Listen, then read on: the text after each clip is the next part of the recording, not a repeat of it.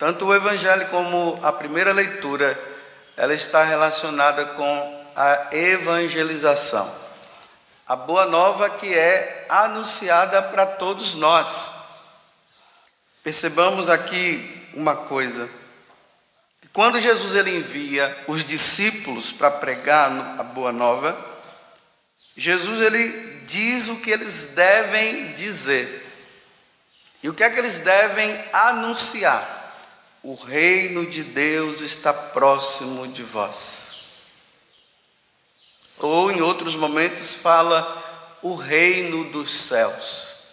Para nós entendermos o que significa a evangelização, nós temos que basear nessa simples palavra, céu.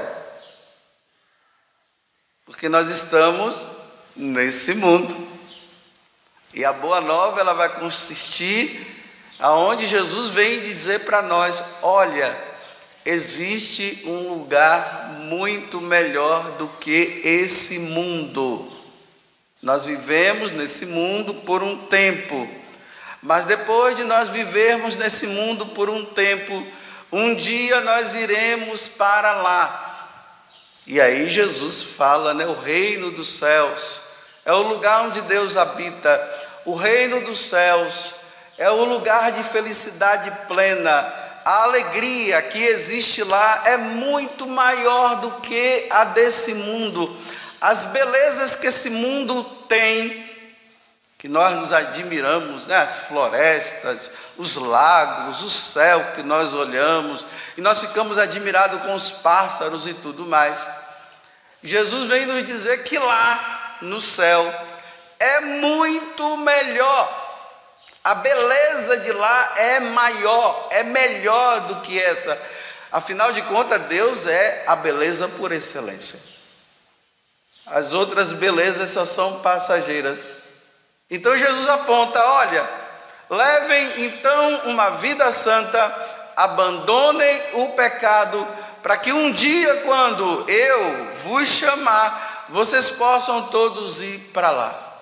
É interessante que aqui entra um grande problema, uma grande questão. Nós nunca vimos o céu. E ainda existe um outro grande problema. Nós estamos tão apegados a este mundo, porque esse mundo nós vemos e o céu nós nunca vemos, que apesar de nós falarmos do céu, nós não queremos ir. Nós não, eu quero. Talvez você não queira, por isso que eu estou falando nós, mas eu quero ir para lá. E eu estou doido para que isso aconteça. Então, como nós não enxergamos, não vemos o céu, aí se eu falar para alguma pessoa, olha, Deus vai te chamar hoje, cruz credo, vira essa boca para lá, eu não quero ir agora. Eu quero ir um dia, mas agora não, ninguém quer ir agora.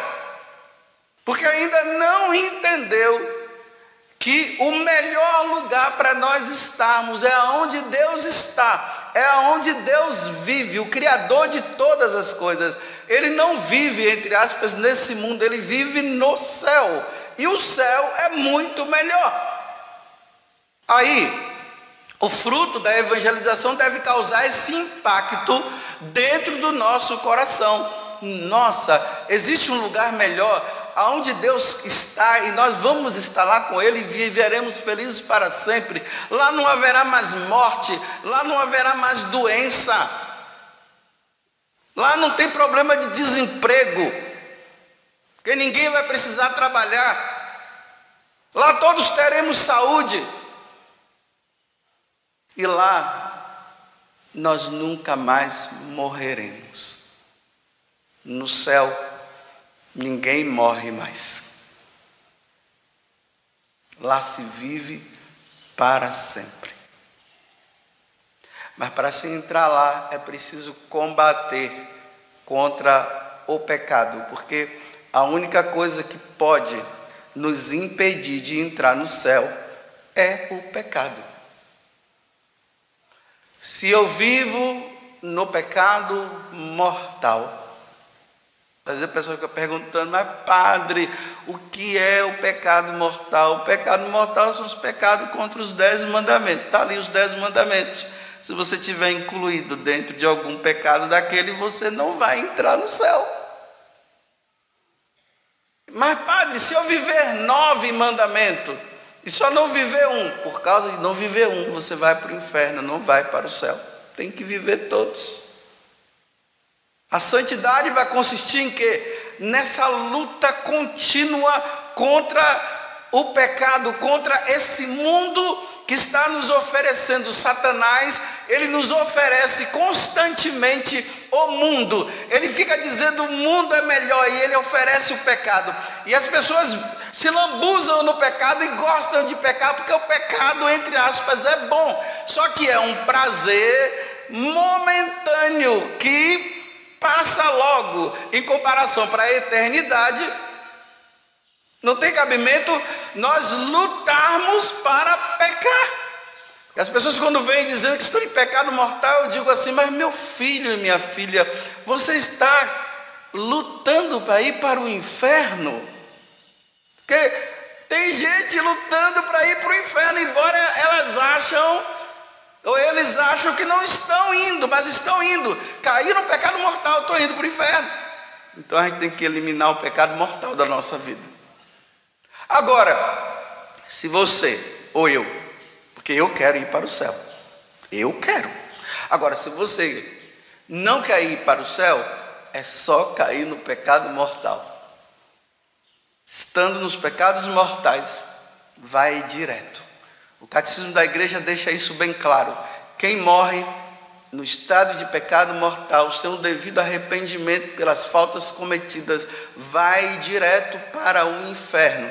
A evangelização, a pregação, ela deve consistir nisso, em levar nós a entendermos que nós precisamos largar o pecado para ir para o céu. Essa é a boa nova. Evangelho quer dizer boa nova. A boa nova é essa: largue o pecado, viva a santidade para você entrar no céu. É isso. Agora, se o pregador ficar falando para você, né? em vez de pregar o evangelho, ficar falando, sabe lá de quê, né? Tem uma boa saúde, faça exercício físico e não sei o quê, e fica só nessas conversas fiadas, e não fala da eternidade, não mostra o céu, você vai ficar com a cabeça voltada para esse mundo, em vez de você ter a cabeça voltada para o céu, renunciando a esse mundo. Porque o que é que esse mundo nos oferece senão o pecado? Adultério, drogas, o roubo, os assassinos, mortes, suicídios, prazeres momentâneos que não levam a lugar nenhum a não ser para o inferno. Aí São Paulo agora, na primeira leitura, ele está trazendo alguns elementos, algumas pessoas que haviam se convertido ao Evangelho. Elas entenderam, elas estavam fervorosas, elas só queriam saber de Deus. Iam na missa, participavam, rezavam, lutavam contra o pecado e tudo mais. Aí São Paulo agora está na velhice e ele vai ser morto, porque ele foi condenado à morte. Aí São Paulo começa a se lamentar diante de duas pessoas. A primeira é um tal de, eu vou inverter porque eu quero é, demorar mais no outro. Ele fala de um tal ferreiro lá, um homem que, que trabalhava, que estava com ele, o Alexandre, o ferreiro, ele diz que ele tem causado muito dano. Provavelmente esse Alexandre, o ferreiro, já estava mais voltado para o mundo que para Deus. Então, ele estava prejudicando a comunidade.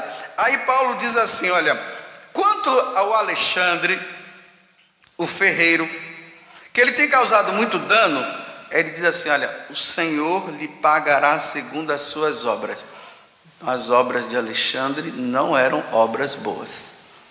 Já estava no pecado. E Paulo diz: olha, evita de estar com ele. Olha aqui um grande ensinamento. Nós precisamos evitar de estar com pessoas que nos levam a pecar.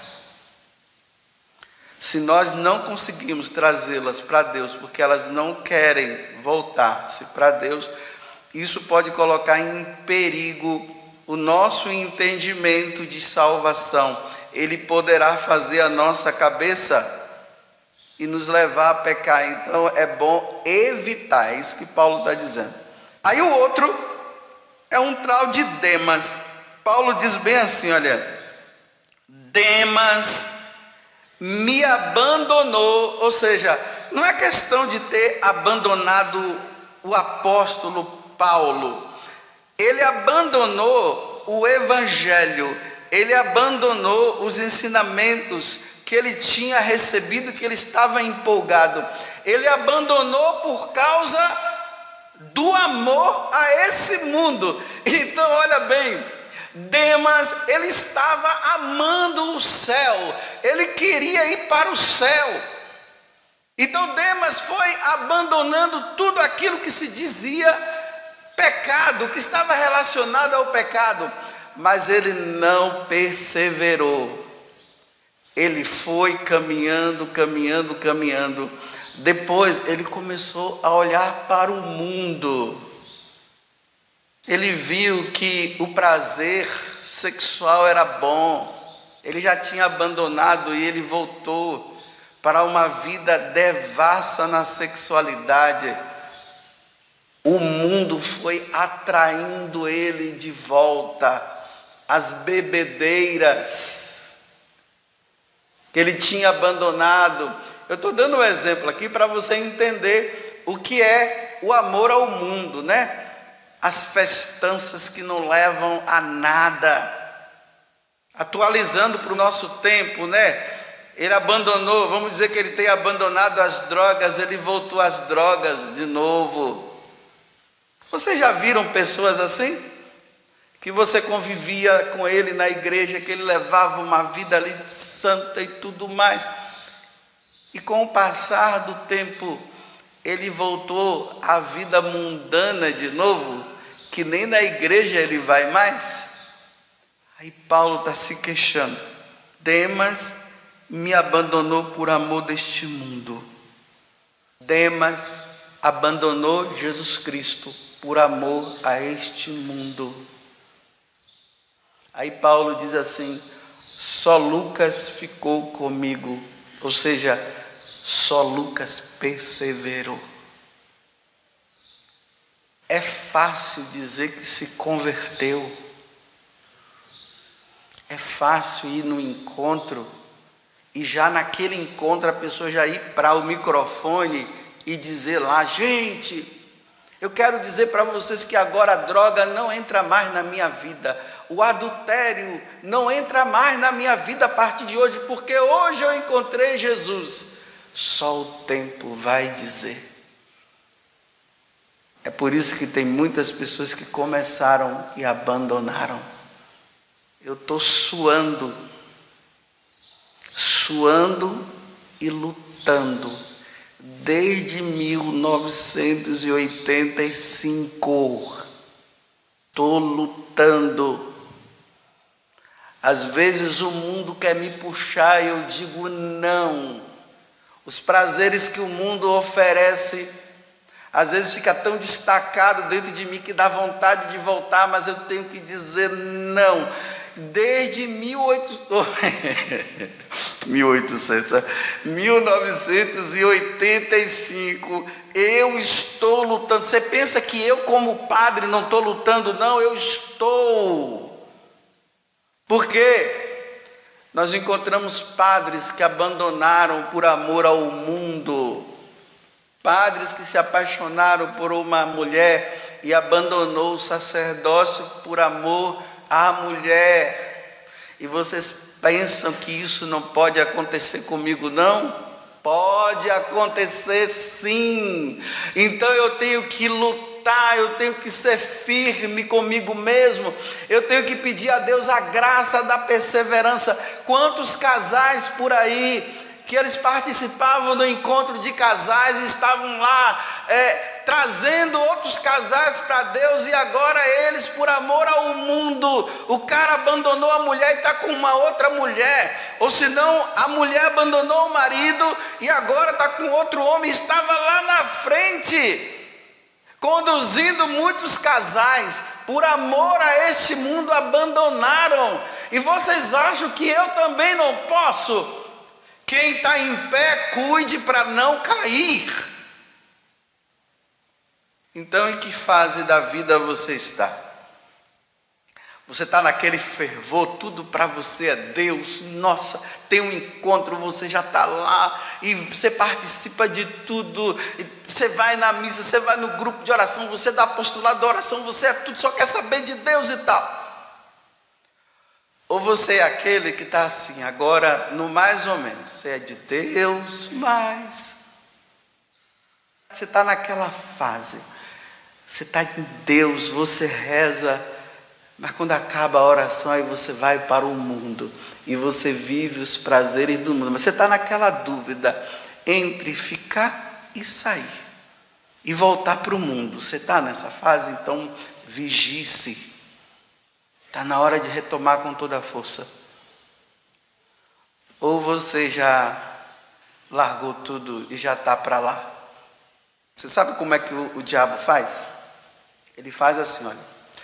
Faz de conta que você é perseverante na missa. Você descobriu o valor da missa.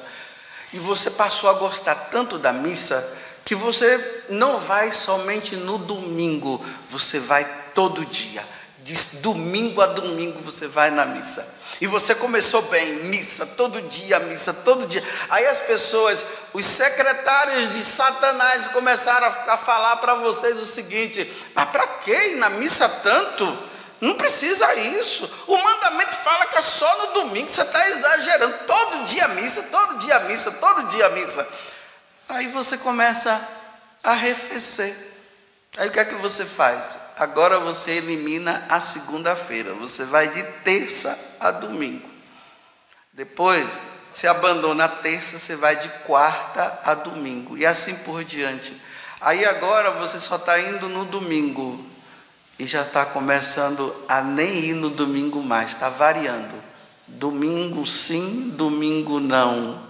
Até que vai chegar o momento que nem domingo você vai mais. Aí agora é shopping center, é balada, é sabe lá o que, e acabou. É assim que o diabo faz. Por amor a esse mundo, Demas abandonou Deus. E eu quero dizer para vocês, eu estou suando desde 1985